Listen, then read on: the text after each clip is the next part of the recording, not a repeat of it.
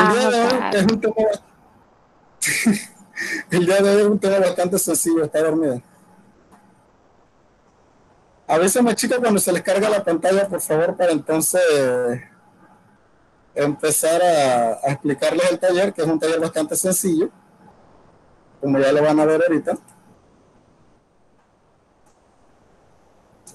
Mm, vamos a buscar la parte de todo.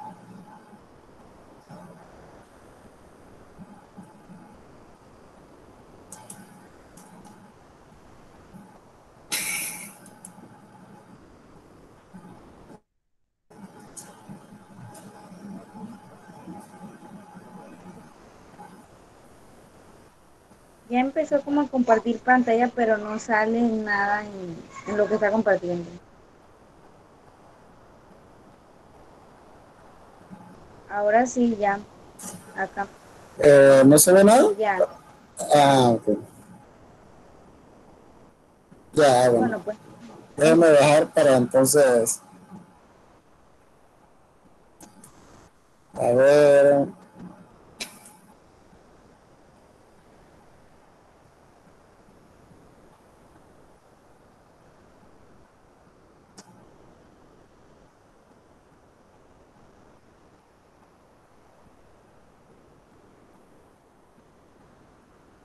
Ajá, correcto. Bueno, el día de hoy vamos a ver lo que es la derivada de una función. El día de hoy vamos a dejar dos talleres, pero los talleres están bastante sencillos. Eh, no es por de repente por tratar de darles un apoyo emocional, ¿no? sino que están bien sencillos, como van a ver ahorita. Solamente es cuestión de multiplicar, sumar y restar. El día de hoy vamos a ver la derivada de una función. Miren, la derivada de una función no es más que el proceso que se hace matemático para convertir una función más compleja en una más sencilla de resolver. Podemos pasar funciones cuadráticas a funciones lineales y que tengan el mismo comportamiento y que expresen no los mismos resultados, ojo, no los mismos resultados, pero sí que tengan el mismo comportamiento. Las derivadas son muy muy importantes para el ámbito empresarial y sobre todo para el área de la química, porque nos permiten reducir fórmulas muy complejas a, una realidad relativamente sencilla. Por eso es que muchas veces eh, cuando son fórmulas, si se sabe derivar, si se sabe integrar, que es lo que ustedes van a ver en la universidad, se pueden hacer eh, las fórmulas más, más, más difíciles, se pueden hacer una fórmula más fácil. Bueno, estos son los teoremas de derivada. Les explico a qué consiste cada teorema. Esto aparece en su módulo, todo lo que les voy a explicar. Algunos ejemplos de lo que les voy a explicar creo que no aparecen, pero sí la mayoría de los que están ahí aparecen en el módulo. La derivada de una función constante. Bueno, primero que todo, ¿cómo se expresa la derivada de una función? La derivada de una función se expresa con una f y un apóstrofe en la parte de arriba siempre que en algún libro ustedes vean un apóstrofe a la parte de arriba de una función, significa que esa función fue derivada. ¿Ok? Significa que esa función fue derivada y transformada por ende de una más compleja a una más sencilla. La derivada de una constante me dice que siempre que yo tenga una, un número sin letra y sin nada, la derivada de él es cero. O sea, Siempre que yo vea un número aquí, no importa si es positivo, negativo, pequeño, grande, decimal, fracción, el resultado es cero. Si no tiene letra, la derivada es cero. ¿Ya? No crean que de repente si yo tengo la derivada de menos 7, por ejemplo, me, me acá que la derivada de menos 7 es menos 0. No, eso está malo. La derivada de menos 7 es 0, porque no importa si es positivo o negativo, me dice que la derivada de una función constante es cero, no menos cero, ni cero, ni cero entre cero, no. Es cero. Ahí lo dice tajante, como está ahí. Su módulo separa esta, esta fórmula en varias partes, ¿ok? Yo la recojo siempre en una sola, no solamente con ustedes, sino siempre que doy ciencia la recojo en una sola. ¿Por qué? Porque esta, esta, si ustedes pueden ver, esto aparece cuando tenían x a la 1 y cuando tenían, eh, cuando tienen esa fórmula que está allí. Para mí, todas son iguales, igual que la derivada de una constante por una función, todas son iguales porque eh, se manejan con la misma regla. Vamos a ver qué pasa con la derivada de una, de una potencia, que es lo que tenemos aquí. Cuando vamos a derivar una potencia, se multiplica el exponente por el coeficiente y al exponente, o sea, al numerito de arriba se le resta 1. Siempre se le resta 1. Por ejemplo, si yo tengo f de x igual a x a la cuarta, yo voy a multiplicar 4 por el numerito que está aquí acompañando la x al principio, que si no aparece se asume que es un 1. 4 por 1 es 4. Y al, al numerito arriba le resto 1. 4 menos 1 es 3. O sea que la derivada de 4x a la cuarta, perdón, de x a la cuarta, es 4x a la 3. ¿Ven? Es bien sencillo, solamente cuestión de multiplicar. Vamos aquí a ver este segundo ejemplo. La de la función que vamos a derivar ahora es 5x a la 3. Yo multiplico el número de delante por el de acá. Valga la aclaración. Aquí me decían que, profe, por aquí con por cuál se multiplicó. Recuerden que aquí adelante hay un 1, pero lo que pasa es que está tácito. Se multiplica 5 por 3, que es 15, y al de arriba le resto 1. 3 menos 1 es 2. Por eso es que me dio 15 a la 2. Aquí eh, se le presenta el procedimiento completo, pero el procedimiento directo es ese. Se multiplica el exponente por el número de delante, manteniendo el signo, 3 por 5 que es 15, y al restarle me queda, al restarle 1, al 3 me quedan 2. Por eso es que me queda 15 aquí a la 2. ¿Ve? Vamos a otro ejemplo aquí, tendría 35x. Bueno, por ahí me dicen que, profe, no tiene numerito en la parte de arriba. Sí tiene numerito en la parte de arriba. En la parte de arriba tiene un numerito que es el número 1. Entonces yo voy a, voy a colocar. Aquí recuerden que hay un 1 que está tácito, entonces sería 1 por 35, que es 35. Pero mira lo que sucede aquí. Al restarle 1, me quedaría 1 menos 1, como aparece aquí. Y 1 menos 1 es 0. Cuando al restarle 1, la respuesta me queda en 0, quiere decir que la letra no se pone, solamente se pone el número. Siempre que al restarle 1, la resta me queda en 0, entonces quiere decir que no se pone. Solamente se pone, no a poner que x a la 0, no. Se pone solamente el número. ¿Ok? Esa es una regla elemental en álgebra. Siempre que la resta le dé a cero, el resultado le queda uno. Le queda, perdón, solamente el número. Pero ahí los chicos me, me tienen a preguntar o siempre me dicen, profe, eh, ¿y por qué el... Ah, me dicen que, eh, profe, y aquí dice que siempre se le va a restar uno. Sí, siempre se le resta uno, porque la fórmula aquí me dice, mire, menos uno, o sea, el exponente menos uno. Es una fórmula. ¿Entendieron estos dos teoremas que les expliqué aquí? Porque de esto depende todo lo demás que vamos a ver. Necesito que tengan esto clarísimo, porque de esto depende todo lo que vamos a ver aquí en adelante. ¿Lo comprendieron? Esa va a ser la única regla para resolver los problemas. Exacto. Las dos, las dos básicas. Esas son las básicas. ¿Cuál era la otra? ¿No tienen preguntas de esa parte? Sí tienen. Esta regla de acá abajo. ¿Cuál era la primera regla? Solamente son estas dos reglas. Esta regla es derivada de un polinomio. La primera era la derivada de una constante, que me dice que siempre que tengo un número sin letra, la derivada es cero. Ah, ok. Me dice que siempre que un número no tenga letra, la derivada es cero. Y la otra fue la que expliqué de último. Esta de aquí es la que vamos a ver ahorita, que es la derivada de un polinomio. Miren lo que me dice la, la regla de la derivada de un polinomio. Se deriva cada término del polinomio por separado siguiendo las reglas anteriores, o sea, siguiendo esto que tenemos aquí. Por eso que le digo que de estos teoremas es que se basa todo lo demás. Vamos a ver los ejemplos.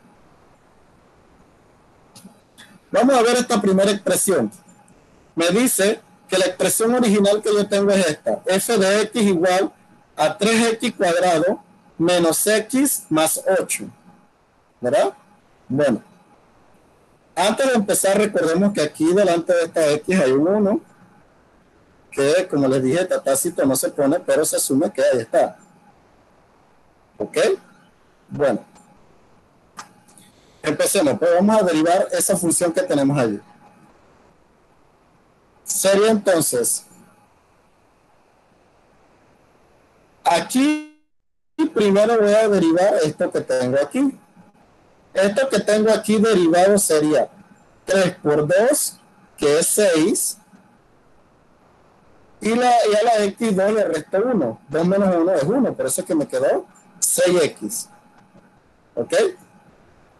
Aquí, recuerden que esta x tiene un 1 en la parte de arriba, se multiplica con el de abajo. 1 por 1 es 1, el b se conserva, miren, 1 por 1 es 1. Y al restarle 1 a la parte de aquí, me queda en 0. Quiere decir que la x ahí ya no se pone. Y la derivada de 8, sabemos que la derivada de 8 es 0, porque me dice la regla de la derivada de una constante que si él no tiene letra, es como si fuera un 0. Entonces ya aquí tendría mi respuesta, 6x menos 1. Esto es directo, o yo lo puedo hacer con el procedimiento que está aquí. 2 por 3, miren, ve, aquí lo multipliqué 2 por 3 y al exponente le resté 1. 2 por 3 es 6 y x a la 2 menos 1 es 1. Igual acá, 1 por 1 que es 1 y le resté 1 a la variable y como me quedó en 0, no se pone la letra. ¿Ven? Yo lo puedo hacer directo o lo puedo hacer con el procedimiento. Siempre y cuando recuerden eh, que cada vez que yo estoy derivando una función, tengo que verificar, o derivando un polinomio, perdón, tengo que hacer cada cosa por separado, cada letra por separado. Vamos a hacer entonces lo que sigue. Dice, la derivada de x a la quinta menos 5x a la cuarta más x. Hago lo mismo, voy a hacerlo directo de nuevo. Recuerden que aquí delante hay un 1, ¿no?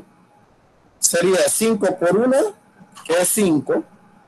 Y al de arriba le resto 1. 5 menos 1 es 4. Me quedaría 5x a la cuarta.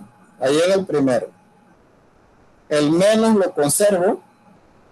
¿Ven? Y acá sería 4 por 5, porque adelante hay un 5. 4 por 5 es 20. Y al restarle 1 me queda en 3. Por eso es que me queda 20x a la 3. Aquí recuerden que arriba hay un 1 y acá adelante hay otro 1. 1 por 1 es 1. Pero al restarle 1 a esta variable me queda en 0, así que no se pone la letra, solamente se pone el número. Y ahí tengo la solución de mi derivada. Que no se les quede el apóstrofe. ¿ah? Siempre que están derivando una función tienen que ponerle este apóstrofe que aparece aquí. Si no, está mal. Ok, el apóstrofe es importante porque el apóstrofe es lo que nos indica que esa función ha sido derivada. Vamos a ver este otro ejemplo, la derivada de 4x al cubo menos 2x más 1. Como les dije, a mí me gusta hacerlo directo. Eh, ahí están con todos los pasos. A mí me gusta hacerlo directo porque así paso ya directo al problema y me ahorro tiempo. Sería 3 por 4 es 12. Al 3 le resto 1, me queda en 2. Miren, 12x a la 2 menos, que se conserva. Aquí hay un 1, recuerden en la parte de arriba, 1 por 2 es 2, pero al restarle 1 me queda en 0, o sea que la letra esta ya no se pone. Y aquí esto me queda en 0, si me queda en 0 quiere decir que yo puedo eliminarlo y solamente me queda 12x cuadrado menos 2. Ven que es bien sencillo, solamente es cuestión de multiplicar, sumar y restar y restar uno, no restar cualquier otro número. ¿Alguna pregunta hasta el momento? ¿Preguntas hasta el momento?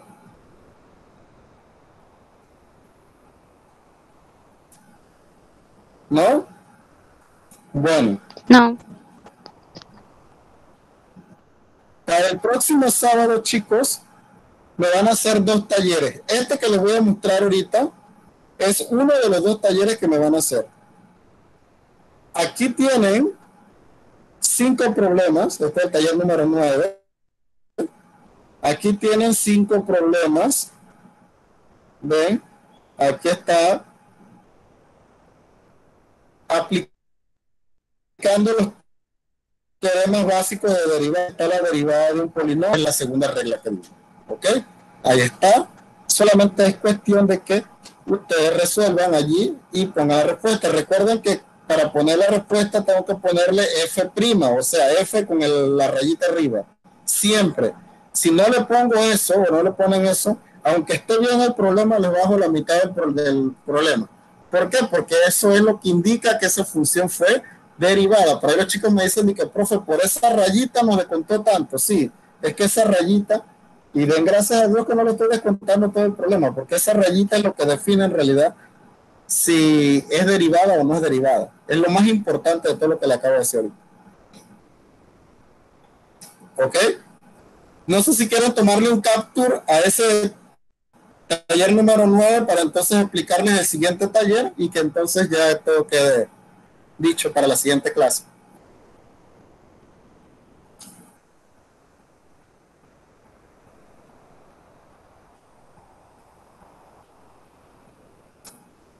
¿Ya le tomaron capture y foto al taller número 9? Sí. Bueno, vamos entonces a ver lo que es la derivada de un producto y un cociente. Recuerden que cuando hablamos de un producto hablamos de una multiplicación y cuando hablamos de un cociente hablamos de una división. Ellos tienen fórmulas en específico. Este de aquí es la derivada de un producto. La derivada de un producto me dice, de un producto de funciones, ya sea dos funciones aquí, me dice que va a ser la derivada de la primera por la segunda más la, más la, primera por la derivada de la segunda. Para el chico me dice que, profe, eso parece un trabalengua. Bueno, vamos a aplicárselo como un ejemplo para que lo vean simple. Vamos a derivar esta función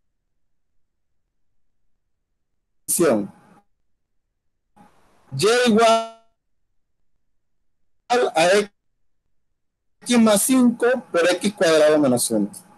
Si pueden ver, aquí hay un producto de funciones. ¿Por qué? Porque están entre paréntesis las dos y están multiplicando. ¿Ok? Bueno. Voy a empezar a sacar cada... ¿Quién es f de x? f de x es la primera x, es la segunda función que aparece, que es x cuadrado menos 1. ¿Ven? Y eh, vamos entonces a sacar la derivada de cada función de f de x y g de x. Repito, f de x es la primera, g de x es la segunda. Derivo. La derivada de esto, si lo hago, me va a quedar en 5. Y la derivada de esto me va a quedar en 2x. ¿Por qué? Porque 2 por 1 es 2 y al restarle 1 me queda la x solita. Igual acá, una, eh, aquí la derivada, perdón, eh, de esta no es 5, aquí la derivada es 1. Me, eh, me equivoqué, ahí está. La derivada es 1. Vamos a ponerlo aquí para que no se me confunda. Ahí está. Aquí vamos a ponerlo aquí, 1, aquí salen entonces 3. A ver, vamos a puede ser 3. Ok. Bueno, aquí la derivada 1 porque 1 por 1 es 1 y al restarle me queda en 0. Quiere decir que la variable no se pone. Y esto me quedó en 0. Y como este me queda en 0, quiere decir que solamente se pone el 1. Entonces, voy multiplicando. Miren que una vez que yo hago este cuadrito que tengo aquí, ya solamente es cuestión de sustituir en la fórmula. La fórmula me dice que primero coloque la derivada f' de x. f' de x ya yo la saqué, o sea, la derivada de f de x, y es 1, que es este 1 que me le marqué aquí el rojo, ¿ves? Luego la fórmula me dice que da g de x. g de x es x cuadrado menos 1. Yo lo coloqué aquí. Luego la fórmula me dice que es más, ese más obligatorio aquí, f de x, que vale x más 5, y después pongo la derivada de g de x, que es esta g de prima de x, que es 2x, que se la marqué aquí en rojo también. Multiplico luego para entonces resolver. Una por x cuadrado es una x cuadrado, más por menos es menos, y aquí sería una por una, que viene siendo 1. Ahí la vida, imagínense, pasan unas cosas aquí. Una por una que es una, ¿no? Sigamos, pues. Vamos aquí. Sería x por 2x es 2x cuadrado. Más por más es más. Y 5 por 2 es 10x. O sea que aquí ya tengo mi función. Y solamente es cuestión de reducir términos semejantes si los hay. Esta x cuadrado y esta x cuadrado me fijo en los signos que, son, que tienen ambas. Los signos son iguales, o sea que se suman. Aquí tengo 2 y aquí tengo 1, me quedan en 3. Y la x cuadrado se conserva. ¿Ven? Como ni, no hay ninguna otra x, este 10x se coloca igual y el menos 1 pasa al final. Pero ahí los chicos me dicen, que profe, ¿por qué pasó menos 1 al final y 10x? Eso es parte del problema, no es que lo que pasa es que por estética, recuerden que el término independiente, o sea, el que no tiene letra, siempre debe de ir al final. Eso es básico de lo que es matemática. ¿Ven? La derivada de un producto es solamente reemplazar en la fórmula y así mismo va a ser la del cociente. Vamos a ver la derivada de un cociente. Aquí vamos a ver. Vamos a ver la derivada de esto la derivada de 3x cuadrado más 2 entre 7x cuadrado menos 1. Cuando tengo la derivada de un cociente, el término de arriba representa f de x. f de x es 3x cuadrado más 2. g de x es lo de abajo, que es 7x cuadrado menos 1. ¿Ven? Luego derivo esas dos funciones, f de x y g de x f' de x viene siendo 2 por 3, que es 6. A la x le descuento 1, me queda en una solita. Este 2 lo elimino porque recuerden que la derivada de una constante es 0 y el 0 ni suma ni resta. 2 por 7, que es 14. A la, al 2 le resto 1, que es 1. Y este 1 se elimina porque es como si tuviera en 0. Y ya tengo mi segunda función derivada. Saqué la derivada de lo de arriba y la derivada de de abajo. Y una vez que tengo esto, entonces solamente es cuestión de reemplazar en la fórmula. La fórmula me dice que es f' de x. O sea que eso es lo primero que va a ir en el primer paréntesis. f' de x. f' de x es 6x. Eso es lo que yo coloqué aquí, ¿ven? Luego me dice que es g de x. g de x es esto que está aquí. Luego me dice que es menos está el menos de la fórmula, me dice que es f de x, f de x es 3x cuadrado más 2, y g de x, que es 14x, g' de x, perdón, que es 14x. ¿Ven? Ellos están en el orden que aparece aquí en la fórmula. Primero f', que es 6x. Luego g de x, luego el menos, entre paréntesis f de x y entre paréntesis g' de x. Y acá abajo dice que va g de x al cuadrado, o sea que en pocas palabras va lo de abajo al cuadrado. Este cuadrado de abajo no se va a resolver, nosotros vamos a trabajar con la parte de arriba. Este cuadrado de la parte de abajo se mantiene hasta el final, como pueden ver ahí. Empiezo a resolver. Para resolver esto tengo que multiplicar. Vamos a multiplicar. Recuerden seguir la ley de los signos.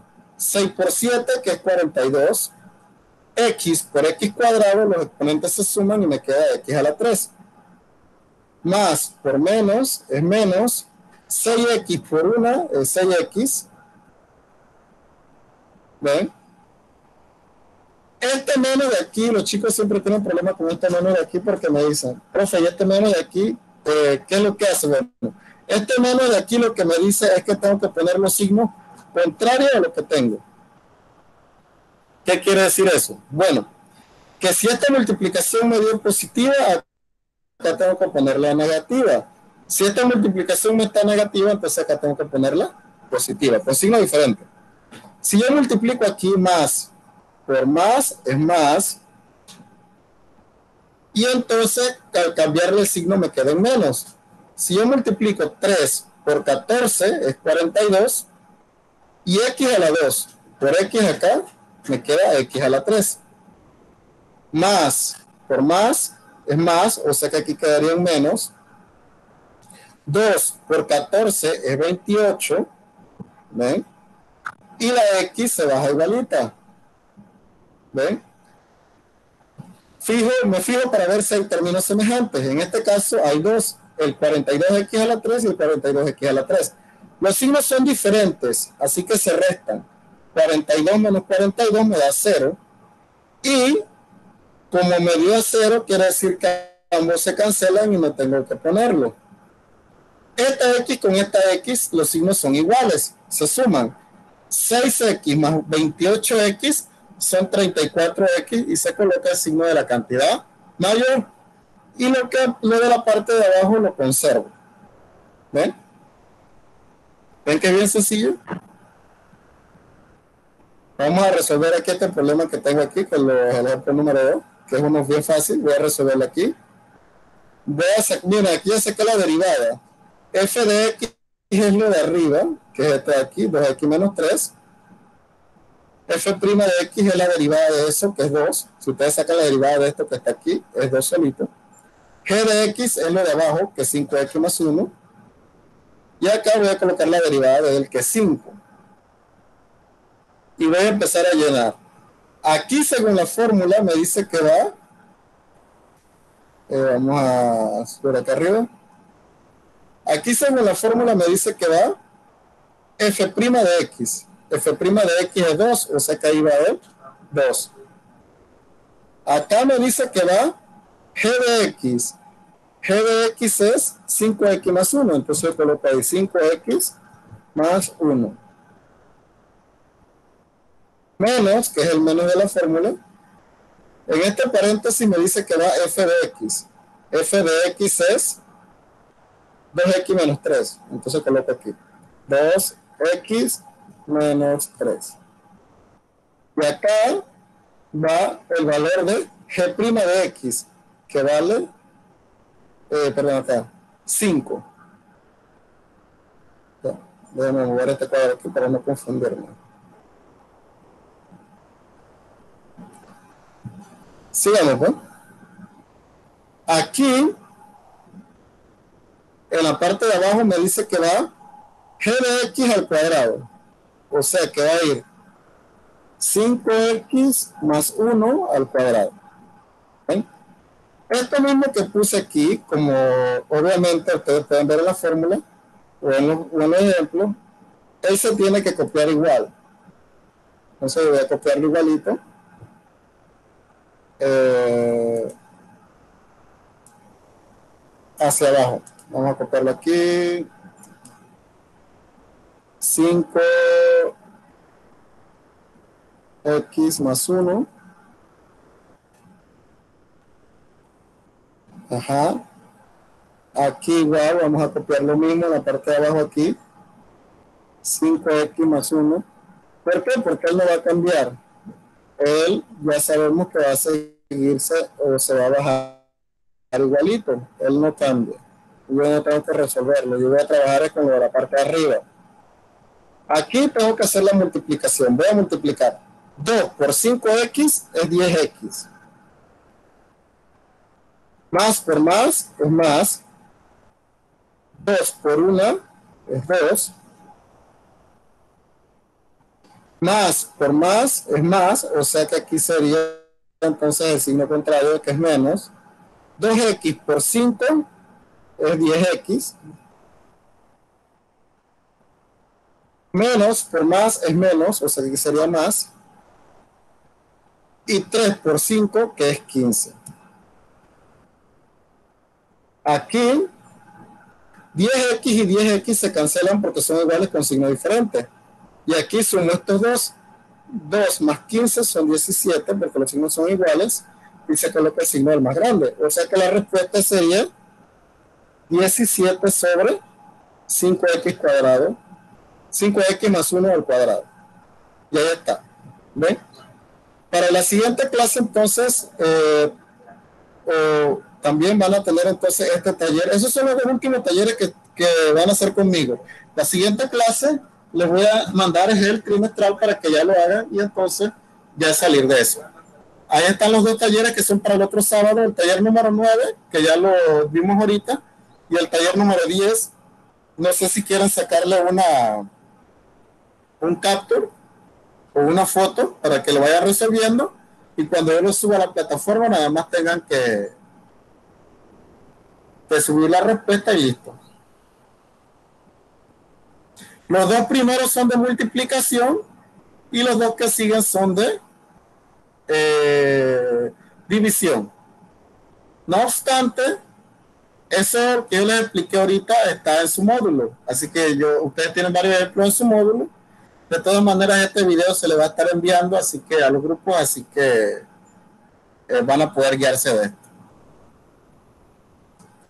¿Ya le sacaron capture y foto? Sí, ya.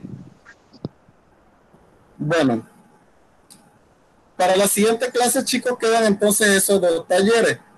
Queda el taller de el taller número 9 y el taller número 10. Repito, la próxima semana no les voy a estar enviando tutoriales.